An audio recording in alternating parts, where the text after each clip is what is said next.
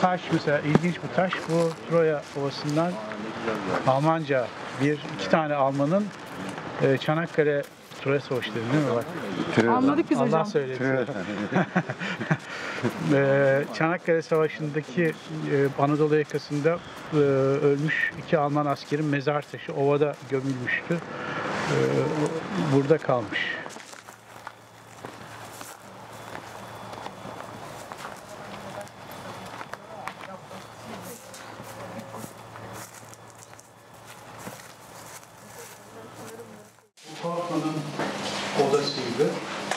Haline getirdik.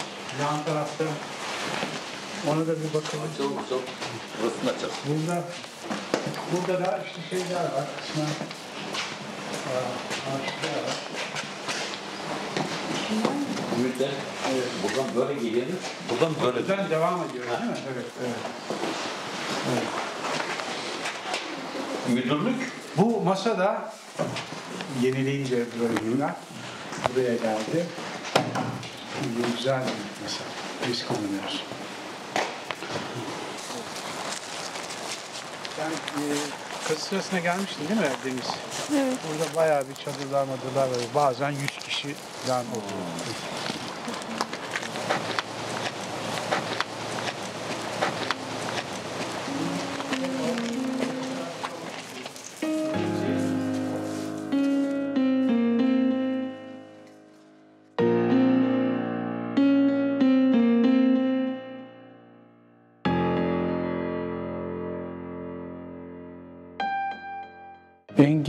Troya'da çalışan işçilerden, pek çok işçiden birisi.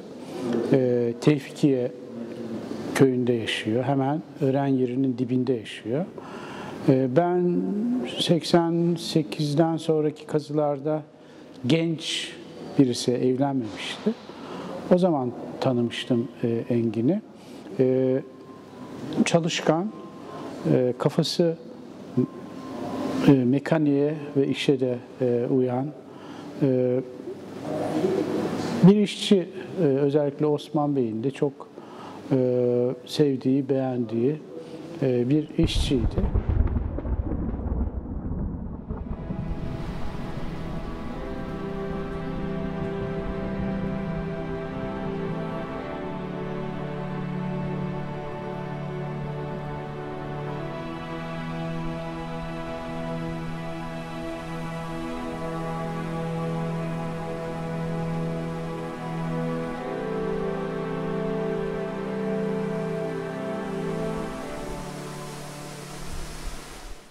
46 senedir bu Troya'ya devamlı olarak gelmekteyim. İşte buraya geldiğim zaman kazı ekibinde olduğum için sağın solun bakımı, yol yürüyüş yolları, ağaçların temizlenmesi, yazın kazıda kısmı olarak temizlik, ustalık. Hani Rüstem Hoca'nın burada yardımcısıyız. Yemekler kepçe. Adı.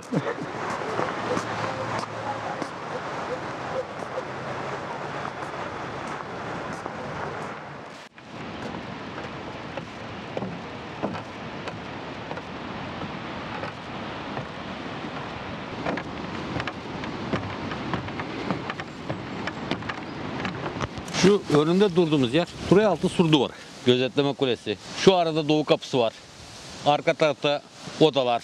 Turaya 2'ye ait.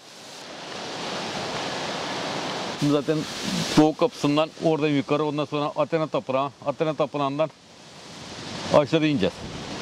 Alt tarafa. Orada Megoran, Turaya 2 Megoran yapıları.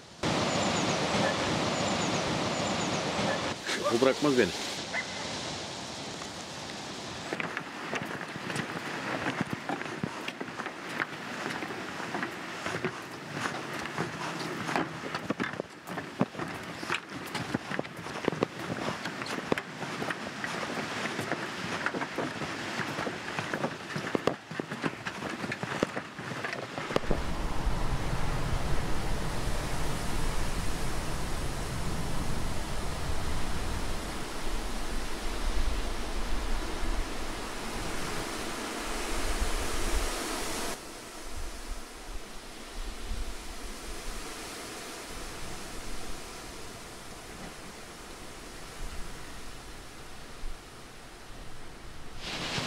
Besim Hoca'nın fırına orada pişirdik. Ondan sonra burasını yaptık.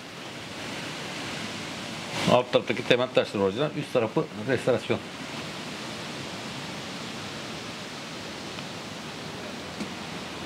Beyden bir kaçırdı mı geliyor beni burada buluyor. Zaten başıma bir hal gelse benim yani gider bir haber verir.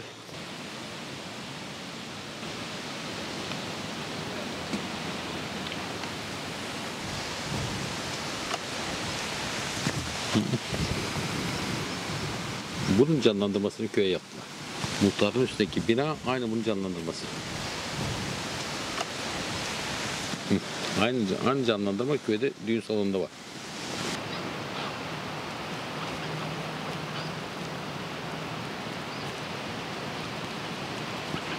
Kutsal ol.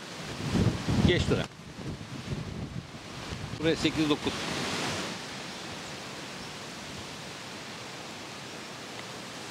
Hocanın elemanları. İşte onlar geldik burada ufak tefek temizlikmiş. İşte restorasyonmuş. Onları toplama arayacağız. Şu kuyunun alt köşesi çöküktü orada. Taş kaymış. Restoratör kız var bize. O geldi. Abi dedi böyle dedim. Tamam toplayalım orası. Oradaki taşları oraya işledik. Kent taşlarını. 2000'de başladım işte. 2000 senesinde Osman Bey'in yanında çalıştım. 4 sene Osman Bey'le çalıştım. 5. sene zaten 2005'te vefat etti Osman Bey. Ondan sonra 2006'da Perniska diye bir hoca geldi. Perniskalılar Rüstem Hoca aldılar kazıyı. 2011'e kadar. 2011'de bıraktılar. 2012'de ara verildi. Ondan sonra iki sene kazı yapılmadı. Burada tamir vadeyi. Ondan sonra 2014'te temizlik yaptı gene Rüstem Hoca ekibinle. 2015'te resmi olarak kazıyı açtı. Geç dönem Roma dönemi Odeon tiyatro ufak bir tiyatrosu.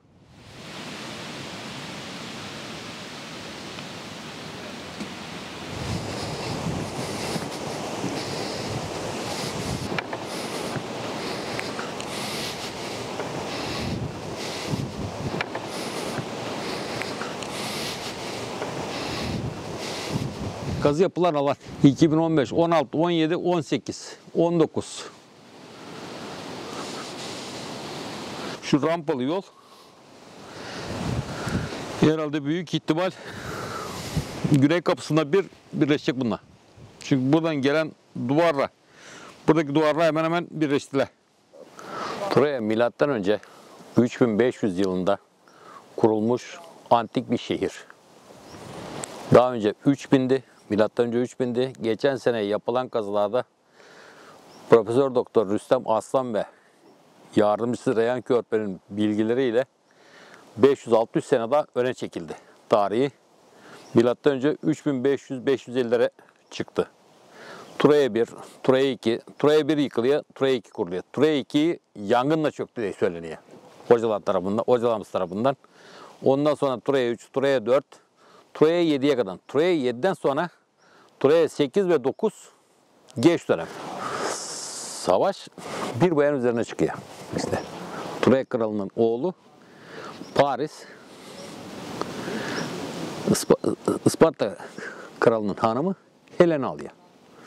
Ondan sonra bir bayan üzerine 10 yıl savaş. 10 yıl sonunda yenişemeyip işte gemi parçalarından yaptıkları Troya atınla kaleyi dışarıdan değil içten fethediyorlar. Ondan sonra Troyalılar işte biz savaş kazandık deyip de kral halkına bedava eğlence verinceye kadar ötekine gece kapıları açıp meşaleyle şey verip hani haberleşip ondan sonra kaleyi içeride fethediyorlar.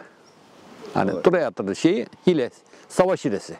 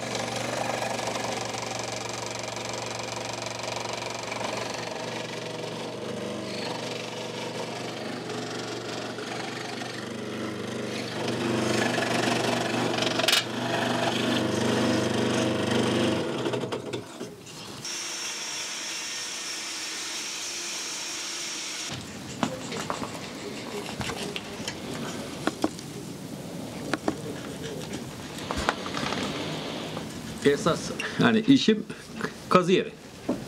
Bu ek olarak işte biblo at imalatı, hediyelik eşya. Yani ufak tefek onlarla uğraşıyoruz eşimle beraber. Şimdi ben biçip zımparasını yapıp yakma derecesine getirdiğim zaman ondan sonra zaten eşim yakıyor. Öğren yerine 2000'de girdim. 2003'te de bu işe başladım. At işine. O da eşimin sayesinde gene. İşte o zaman devamlı bir işimiz olmadığı için ne yapalım ne yapalım ne yapalım. İşte hediyelik eşya yapalım dedik. Ondan sonra 2003'te tek bir makine aldım. Ondan sonra 2004'te bir makine daha dedik yine. Şimdi şu anda 9 tane makine var içeride. Arkası arkasıya 9 tane birden makine getirdik. Artık kışın yakmayı bırakacağız. Sade yazın dışarıda. Duman çıktığı zaman gitsin. Köyde var bir arkadaşlar yapan. Doktora gidiyor. Doktor demiş sigarayı bırak. Ben de bu yaşa geldim daha sigarayı ağzıma koymadım demiş. Ne iş yapıyorum böyle olunca böyle. Demiş amca bırakacaksın demiş. Ya sigara daha zararlı ya. Duman cozurda yani. Hiç kalem yok benim. Ha, yok. Pense de yok nereye koyduysan. E nereye koydunuz felseler siz? Çıkarıp çıkarıp atıyorsunuz. Vallahi kusura bakma benim eşyalarım olduğu yerde karıştırsan E, senin eşyaların işte böyle şey olursa Tabii canım tabii. şununla bir iki çizgi çek bakalım şurada da. Neresini çekeyim çekeyim? Ya çek bir iki tane şu göbek çizgilerini çek şundan. Ya kolay oluyorsa buyur otur o zaman çeker dur. Ben de sen buradan bakayım bakalım nasıl yapıyorsun. Vallahi ya. Olmuyor işte ondan da ondan. Engin bir anlamda tırnak içinde mitolojiyle yaşayan farkında olmadan e, mitolojiyi dönüştüren, belki banallaştıran hiç bilmeden e, böyle bir birisi e, Tevfikiye köyünün bir kesiti, bir bölümünün bir kesiti, Troya kazılarına yansıyan bir kesiti benim için Engin Cumali